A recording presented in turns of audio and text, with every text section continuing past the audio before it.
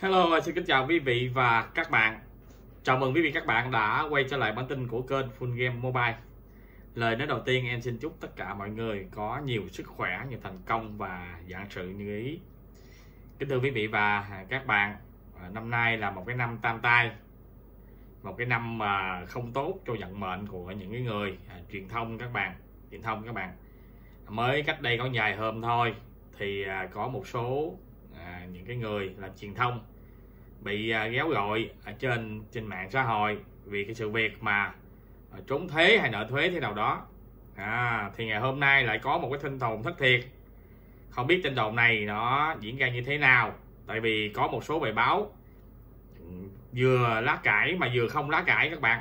À vừa lá cải mà nó vừa không lá cải. Có một tin đồn đoán là có một một cái ông bự một ông bự trên ngành truyền thông đang bị giữ bắt bo à, cấm xuất cảnh.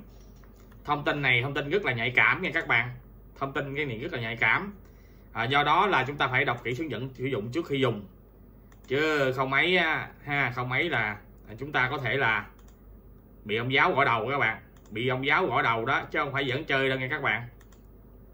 À một cái ông trên đồng truyền thông. Rồi trước đó các bạn biết á, là những cái sự việc lùm xùm trên mạng xã hội chị Hằng cũng nói rất là nhiều. Là dùng truyền thông để mà chống truyền thông. Tôi nói các bạn ngành truyền thông á là là không dao là một cái con dao hai lưỡi. À, nó vừa công tâm và nó không công tâm. Do đó tại sao người ta bảo rằng á làm nhà báo thì không thể nào làm được luật sư. Mà làm luật sư thì không thể làm nhà báo. Tuy nhiên có một số trường hợp đặc biệt. Chẳng hạn như chị Hằng Ni à, chị Hằng Ni là cái người vừa là nhà báo vừa là luật sư nhưng mà họ vẫn làm được. Các bạn biết là do đó là trong cái xã hội này không có gì là không thể. Nếu như những vấn đề đó nó không vi phạm pháp luật và được xã hội cho phép còn nó không vi phạm pháp luật mà xã hội xã hội lên án xã hội không cho phép thì nó cũng không có tồn tại được các bạn. Giống như chị Hằng bảo rằng á, là tại sao làm song song vừa nhà báo và là luật sư? Đó như vậy là cái lời nói của chị Hằng cũng có tác động ít nhiều về cái sự việc á, cho chúng ta suy nghĩ. Và báo là chuyên biết về sự thật. Còn luật sư tất nhiên cũng là sự thật. Nhưng ví dụ như chúng ta đứng ở bên phía bị can thì sao? Đúng không? Ta bào chữa cho bị can chứ không phải là bào chữa cho bị hại thì cái cốt lõi của chúng ta là cái gì? Cái cốt lõi chúng ta là phải chiến thắng. Đúng không? Chiến thắng hoặc làm giảm nhẹ tội cho cái người bị can. Như vậy là giảm nhẹ tội như vậy nó có phù hợp với cái ngành báo chí không? Nó có phù hợp với những cái sự thật mà chúng ta viết lên không? Thì các bạn biết cơ quan báo chí là một cái cơ quan ngôn luận ha, mà người dân người ta là cái món ăn tinh thần của người ta. Do đó là trên cương vị báo chí là phải sự thật 100% viết vì cái gì đó hay là một cái việc nào đó bất bất kỳ là ở trên cái nội dung nào. Nó không phải là đúng và phù hợp. Nói chung nó phải là một cái cơ sở khoa học để mà người ta đưa ra những cái kết luận về một cái sự việc nào đó mà nó hoàn toàn đúng chứ không có sai. Đó do đó là năm nay phải nói là một cái năm mà đại nạn của cái ngành truyền thông. À, tôi cũng xin bí mật với các bạn á, là dạo này người ta nói cái sự việc mà khế chua khế ngọt gì đó tôi cũng nói sơ sơ với các bạn chứ tôi không dám nói nói thẳng. À trên cộng đồng mạng. À, đặc biệt là cái bài báo đất việt. Bài báo này tôi nghĩ là bài báo ở nước ngoài quá các bạn tại vì dân việt là đất việt đó. À, bài báo à, đất việt đài tiếng nói nước pháp thì tôi nghĩ rằng đó là cái cái cái bà bản tin này nè cũng không có mấy chính xác. À, do đó là khôi không không dẫn chứng luôn. Ừ, tại vì các bạn biết á, là báo thanh niên báo tuổi trẻ báo pháp luật hay là báo uh, dân việt.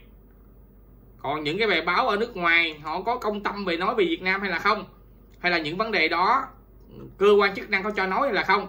Và đọc ra những cái nghi ngờ. Do đó là biết thông tin này thì biết chơi thôi.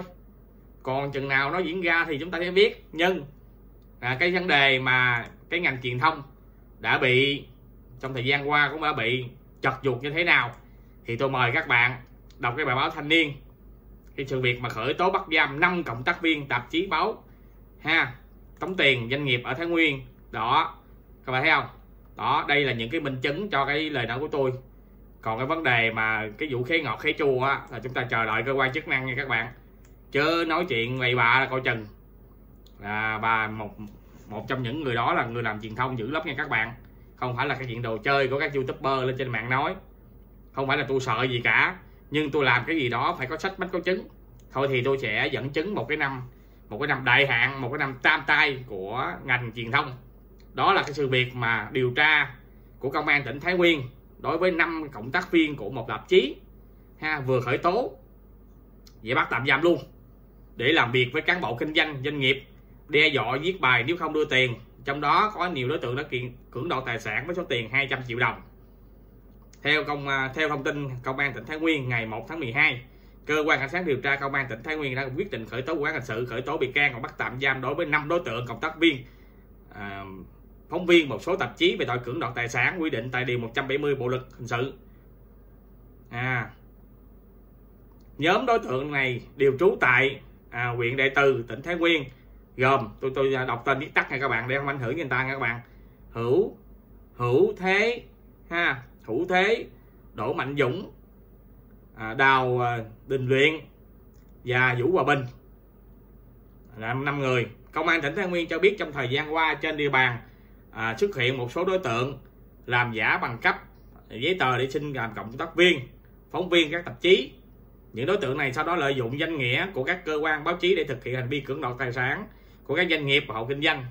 Nhóm đối tượng này đã này đã tìm hiểu nghiên cứu hoạt động của các hộ kinh doanh hoạt động doanh nghiệp để tìm ra kẻ hở sau đó liên hệ làm việc đe dọa sẽ viết bài à, nếu như không đưa tiền. Trong đó có trường hợp nhóm đối tượng viết bài trước rồi thỏa thuận với chủ hộ kinh doanh doanh nghiệp để đưa tiền gỡ bài à, từ đó chiếm đoạt tiền. À, đối đối tượng đối với năm à, bị can khởi tố qua tài liệu và điều tra ban đầu cơ quan cảnh sát điều tra công an tỉnh thái nguyên xác định các đối tượng à, hoàng văn hữu vũ hòa bình đỗ mạnh dũng đào đình luyện có hành vi làm giả bằng cấp để xin làm cộng tác viên tạp chí. Còn đào văn thế mạo danh công tác viên của tạp chí để chiếm đoạt tiền của hàng chục người bị hại với số tiền à, 200 triệu đồng. Cùng với quyết định khởi tố bắt tạm giam 5 bị can để tiếp tục điều tra cơ quan cảnh sát điều tra công an tỉnh thái nguyên đề nghị à, các tổ chức cá nhân các đối tượng nêu trên à, cưỡng đoạt tài sản liên hệ bị các đối tượng à, cưỡng đoạt tài sản liên hệ với phòng cảnh sát hình sự à, số 27 đường Hoàng Văn Thụ thành phố Thái Nguyên.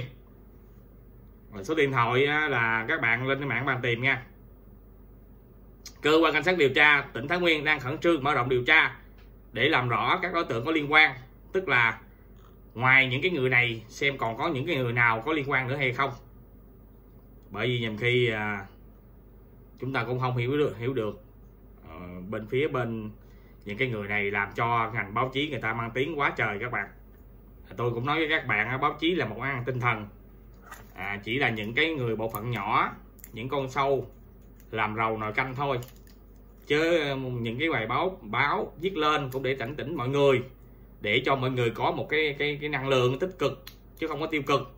Do đó chúng ta không thể nào đánh đồng là toàn bộ những cái người làm bên truyền thông mà người ta có những cái hành động như vậy. Đây là một số ít người. Và tôi cũng nhắc nhở với các bạn á cái những cái tổ chức phản động ở nước ngoài nó sẽ lợi dụng vào cái sự việc này mà nó quy chụp à, quy kết bằng du khống cho bên bên đường lối chính sách đảng và nhà nước của chúng ta. À, do đó tôi cũng lên cái video clip này để tôi cảnh tỉnh mọi người. Trong thời gian qua đó các bạn biết dù là ai nhưng mà vi phạm pháp luật đều phải bị xử thôi. Đó là sự công bằng. Và chúng ta cũng muốn à, đem vào một cái một cái sự công bằng cho những cái người khác. À, à, cái sự việc mà những cái người phóng viên này họ tự động cá nhân của họ có lòng tham thôi chứ không phải là chúng ta ừ, bảo rằng là à, truyền thông là ai cũng như nhau rồi. Vấn đề đó là các bạn thì bây giờ dễ bị phạt bị chịu rưỡi lắm đó. Tôi biết rằng khi tôi nói như vậy các bạn bảo tôi tôi nhát. Không đâu các bạn. Cái sự việc mà nhát với sự việc mà mà ừ, lên trên mạng nói tầm bậy á nói nói chuyện à, người ta kêu bằng nói chuyện xà lơ á nói chuyện ngu quá để mà lấy tiếng á à, để kêu view câu like á để mà bất chấp à, để mà mà, mà được hưởng cái quyền view á mà nhỡ mai xa vào dòng lao lý á, thì cái vấn đề đó thật là đáng tiếc. Đúng các bạn do đó tôi nói các bạn á, khi mà lên trên mạng xã hội chẳng hạn là, một youtuber hay là một facebooker hay là tiktoker thì chúng ta phải truyền tải một thông tin một thông điệp nào đó thật sự là có ích à, đến với khán giả để cho khán giả biết. À, năm nay là năm đại hạn của ngành truyền thông.